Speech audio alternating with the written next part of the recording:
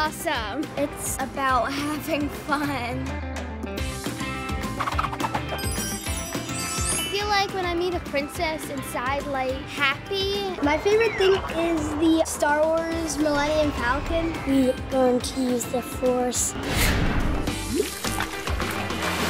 There's a lot of stuff to do on this ship. There's a kids club, which is my favorite. The pools are fun. There was one yellow slide that I like going on. I can go on the AquaDuck. When I first went on it, I was closing my eyes. A lot of ice cream. Oh my gosh.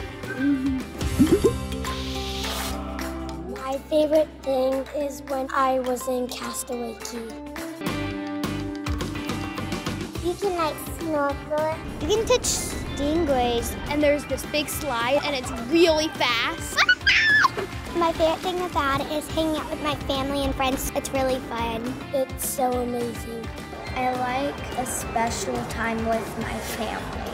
The Disney Cruise is very magical and it's special to me. Oh my gosh.